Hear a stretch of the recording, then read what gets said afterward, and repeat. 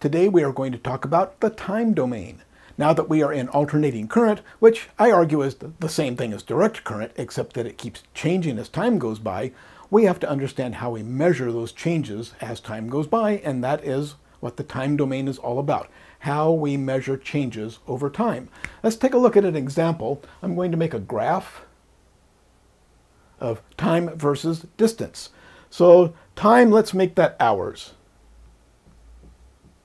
So time is going to pass in hours, let's say one hour, two hours, three hours, four hours. And over here we're going to have a distance, let's make that kilometers, one, two, three, four kilometers.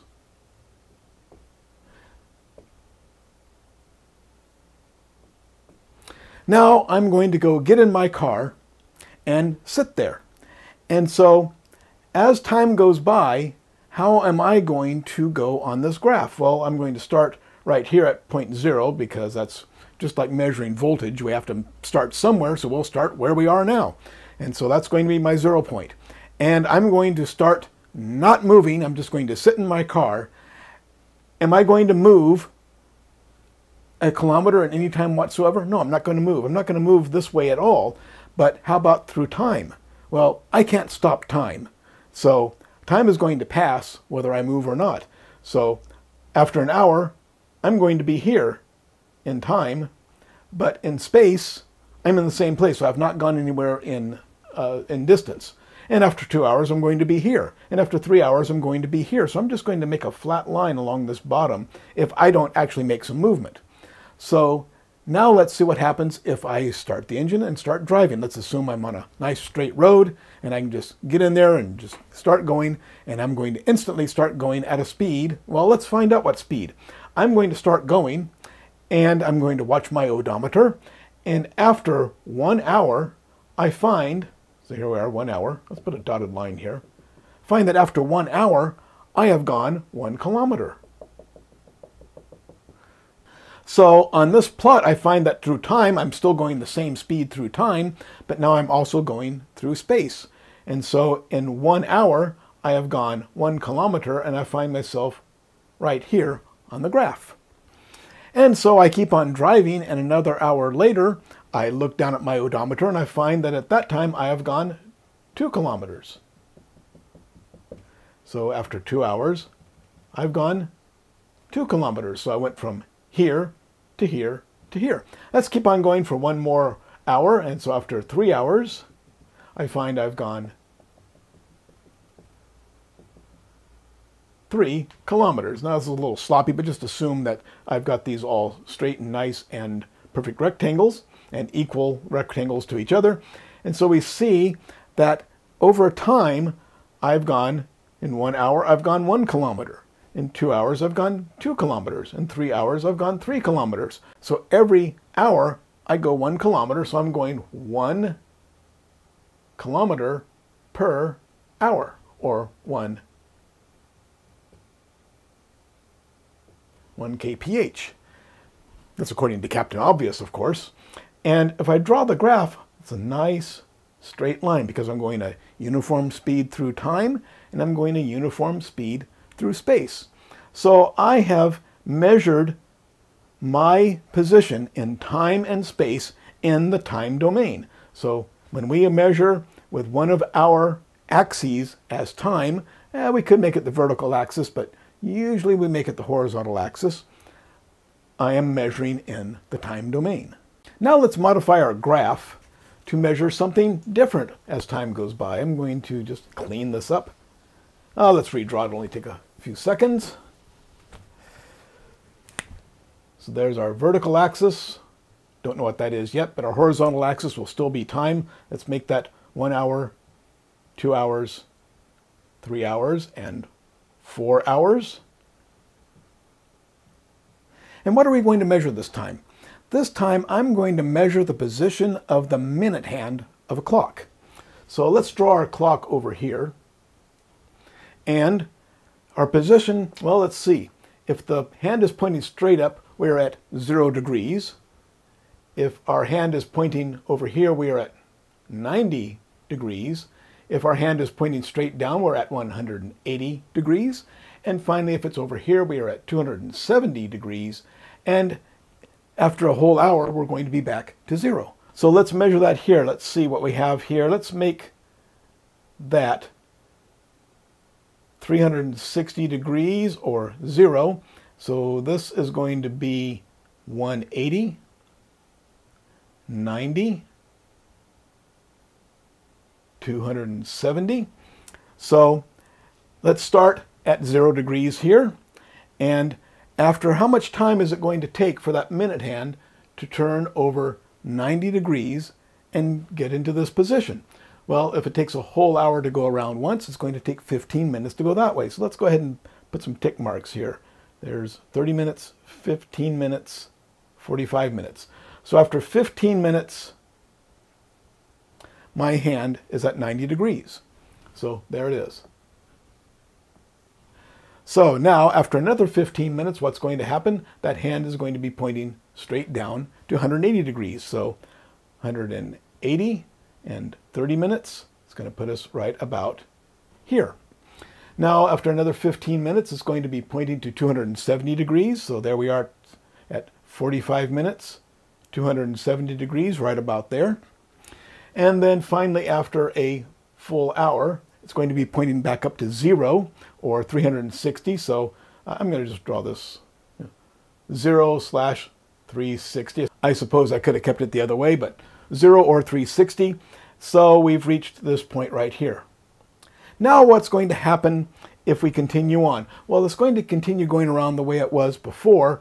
Uh, could we wind that around and say, well, now that's going to be 360 plus 90, 450 degrees, but then it's just going to keep going on on off the graph. But hey, it's cyclic.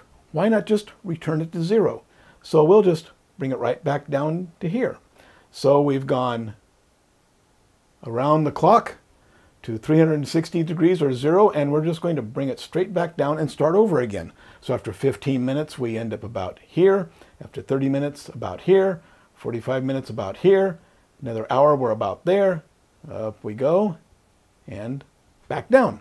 So each hour we go all the way around the clock and then reset, all the way around the clock and then reset again, and so we get this particular shape as we draw the time where we go an equal amount of degrees around the clock face over time. This is going to be 0, 15 minutes, 30 minutes, 45 minutes, one hour, and it's going to be 90, 180, 270, 360 degrees, and it's just going to repeat over and over again. And this is something we see quite often in alternating current, of course, is repeating shapes. We call this a wave. Now, a wave has two definitions. We usually think of a wave as like on the surface of the ocean, these undulating uh, packets of uh, energy where it trades off between kinetic energy and uh, potential energy as energy goes along the surface. But here is a wave that has nothing to do with that shape, but it's a wavy shape, isn't it? But this, is there a wave happening here? No, we're just plotting the angle 90 degrees, 180, 270, 360, and 0. We're simply plotting an angle in the time domain, and it makes this shape that looks like a wave. And so we call it a wave. In this particular point, we call this a sawtooth wave because it looks like the teeth of a saw. So if we plot the clock going around its face in the time domain in this way where we repeat every time we go around the clock, we end up with a sawtooth wave. Now let's see what happens if we plot the hour hand. Of course, what happens with the hour hand, it's going a lot slower. So in the time plot along the horizontal axis, it's not going to go as quickly as the minute hand. So what's going to happen there? Let's say this goes around one whole hour, so it goes 90, 180, 270, back to zero. In that time, how far is the hour hand going to go? Well, it's only going to go 30 degrees. So let's see, there's 90. It's going to only go about, there's 30, there's 60, there's 90. So the hour hand, let's do this in a, another color so we can watch it.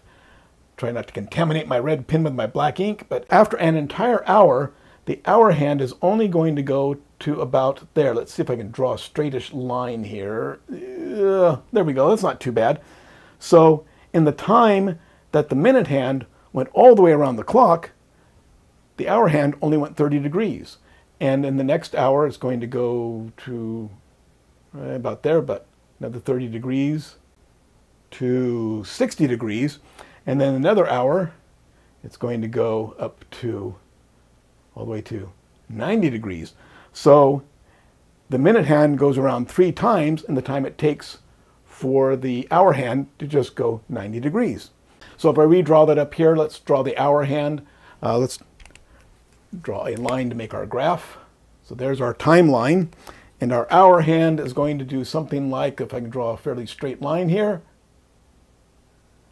after 12 hours, it's going to go 360 degrees, where the minute hand is going to go around 12 times. So if I put the minute hand here, it's going to go 1, 2, 3, 4, 5, 6, 7, 8, 9, 10, 11, there we go, 12. There, fudged it.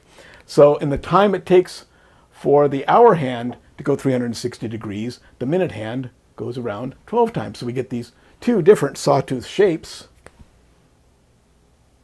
but one is stretched out compared to the other, or there's more of the minute shapes than the hour shapes because they're happening more over time. So that's just comparing two different wave shapes that are happening at two different frequencies. How frequent is the minute hand? Well, every hour it goes around, so it's one cycle per hour.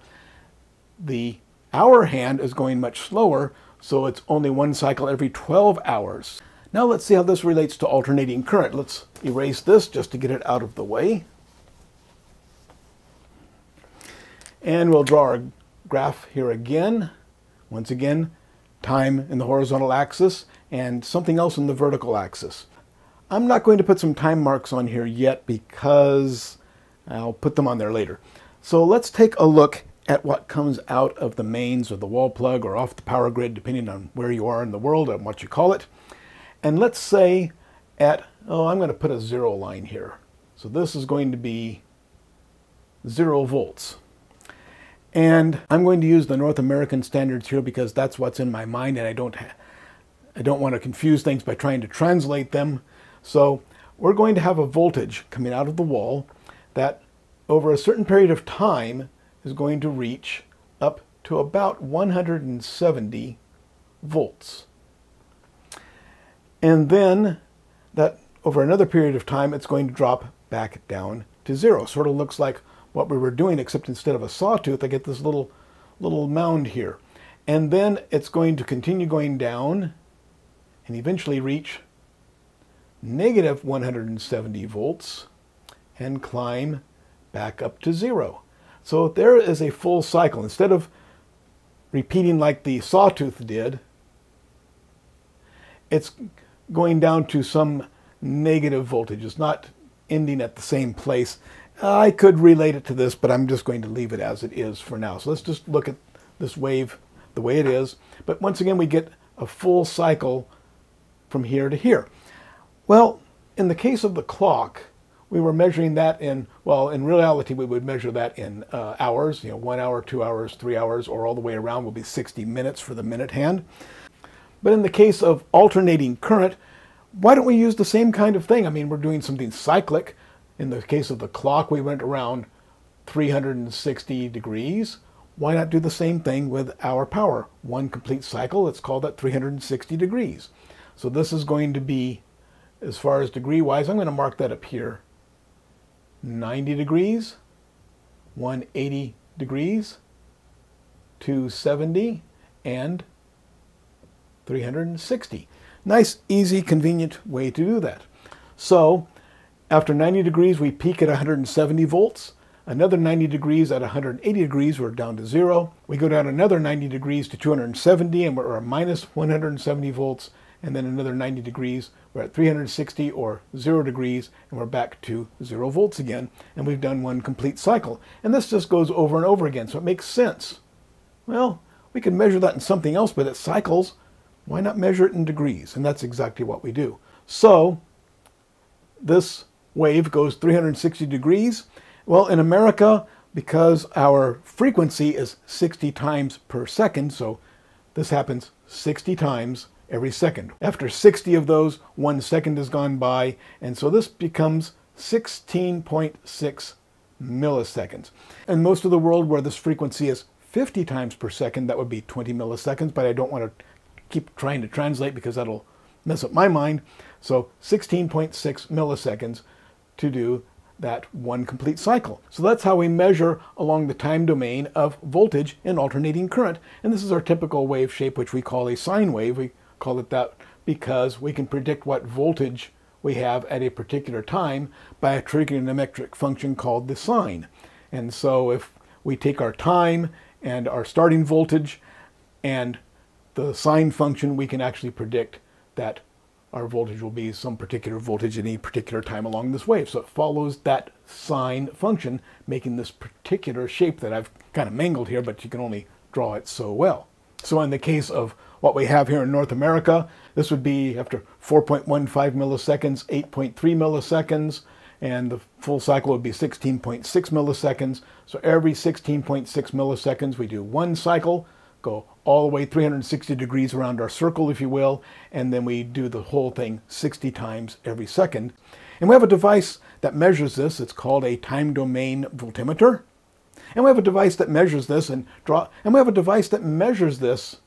And we have a device that actually draws this on a screen as we measure voltage. It measures our voltage compared to time. And if we put a sine wave on there we get this shape, that device is called a time domain voltimeter and you've never heard it called that before, that would be a fancy name for it if we wanted to call it by a fancy name, but we just know it as a oscilloscope. So it measures voltage in the time domain. So remember that the oscilloscope measures in the time domain. It measures how voltage changes over time. Now before I move on, I just have to clarify one thing. I'm, so this goes up to 170 volts, down to minus 170 volts. I thought that the voltage in North America was 120 volts.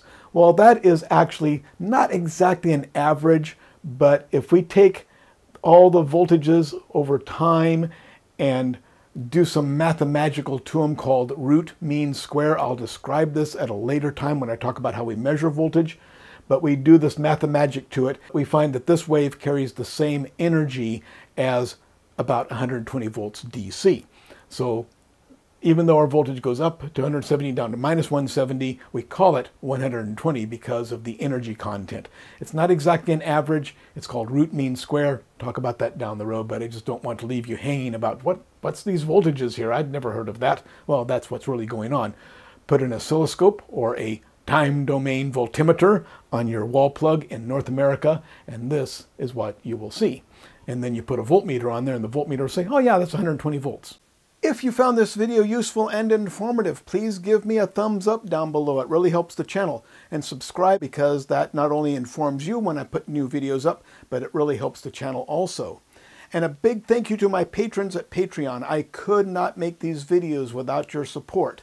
If you want to help me put these videos online and keep real vocational education free at vocademy.net, you can go to patreon slash join slash vocademy and pledge your support. And again, a big thank you to my patrons who make this possible, and a big thank you to everyone for watching.